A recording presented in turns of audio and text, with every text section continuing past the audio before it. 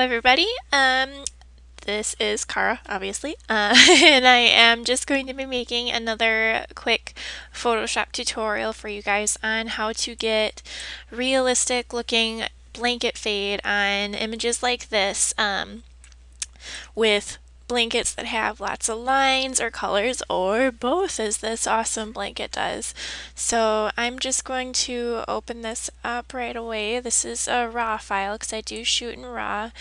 Um, and this is completely straight out of camera. So what I'm doing is pretty much what you guys can do just straight out of camera with your photos. Um, so I'm just gonna start working and kind of narrate what I'm doing and hopefully it turns out okay because I don't really do these videos all that often so um, here goes and first of all I like to duplicate layers when I'm working with stuff like um, blurs just because then if I blur too much I can erase the top layer and the bottom layer will still be there um, if that makes sense.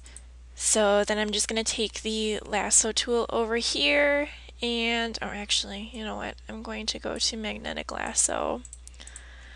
Zoom in a little bit so I can see what the heck I'm doing. Um, so go grab that magnetic lasso tool and just kind of start drawing where you think your blanket should start fading. And the reason why I like the magnetic lasso tool is because it'll most of the time hug the curves on the baby pretty well.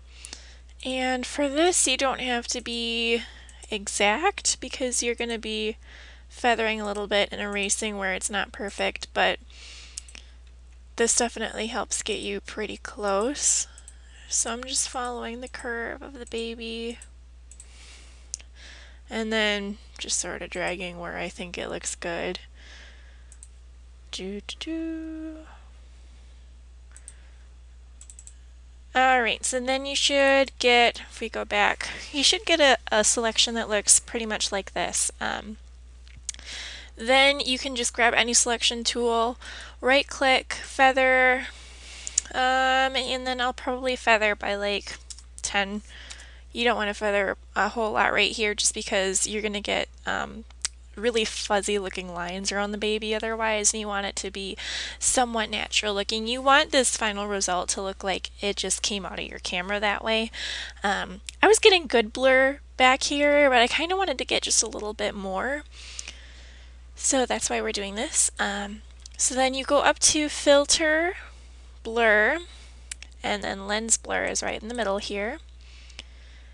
And it'll bring up something like this. And I already have my settings cranked way over here um, from previous photos because this is the sort of blur that I like. But if you move radius around, you can see how the background changes. Um, I'm just going to crank it way up. You can see it only affects the selected area and we'll work on blending these hard edges here in a little bit.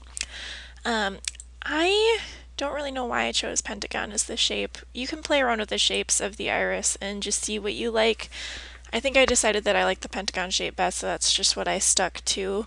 Um, radius will affect your blur the most. You can also play around with blade curvature and you'll get slightly different blur from that. So just take some time and play around with these settings and see what works for you. Um, so the thing with lens blur is that it takes forever to load, at least on my computer. And my computer is a fairly new custom built photography machine um, that I picked out the parts for, and my boyfriend actually physically assembled for me. So it was super, super fast, like right after I built it, but now that I have hundreds of, gigabytes of photos on here um, and lots of programs and stuff, Photoshop is not quite as fast. And I suppose I could add more RAM or upgrade to a solid state drive, but eh, I'll do that eventually. So we'll see how long this actually takes. If it takes forever, I might skip ahead um, and do some video editing, but I'm hoping I can just talk through it because I'm feeling lazy and I don't want to have to edit this before I upload it. So we will see. Alright, so lens blur has completed, so as you can see you can toggle your top layer on and off. to see the difference in blur there and I'm happy with this. I'm going to, whoops, deselect.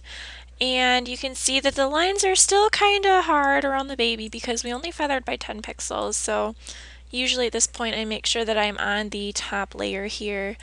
Zoom in. Get out my handy dandy eraser brush some people are big fans of masking and more power to you if you're a masking sort of person but I don't know. I just I taught myself how to use Photoshop and I saw the eraser tool and just started using that and that's how I do things but eh it gets the job done. So no matter how you do it it's it's all good.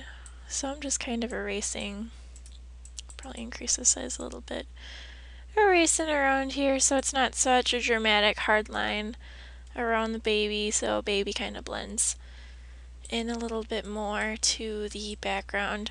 Now you don't want to erase where this hard blur line is here because then, like, well let's see if I can show you guys. It, it looks funny. I don't know how to describe it. It's like this weird in-between blur. Actually that, that doesn't look awful. Eh, I'm going to control Z to go back anyway, because that's not usually not what I do. Um, usually what I do is I duplicate the layer again, and then just grab your normal lasso tool and kind of do like a rough lasso around the area where that line is. Um, if you hold down shift on a PC, you can select another selection over here without losing your other selection, which is really fabulous. And then I'm going to feather. Um, Let's feather by 75 pixels, just see what that looks like. That should be good. And then we're just going to do lens blur again. And what this does is it kind of gradually blurs your line rather than making it super, super harsh. And I'm going to bring down the radius so it's not super crazy blurry. Hit OK. Usually this lens blur effect doesn't take quite as long to process because you're not processing half of the image, just a small selection, so it's still kind of slow, but whatevs. Almost, almost, almost. Come on. There we go. Alright, so then you'll get something like that. And then I right click to deselect. And zooming out, I think that looks pretty darn good. I'm just going to do Control E to merge these top two layers here so I can toggle back and forth and show you the before and the after. And that is how you achieve kind of realistic looking blanket fade with lots of colorful lines or backgrounds um, using my method of the lens blur tool. And I hope that was helpful for you guys. Let me know if you have any questions in the comments, and I will try to help you out as best as I can. Alright, thanks so much for watching.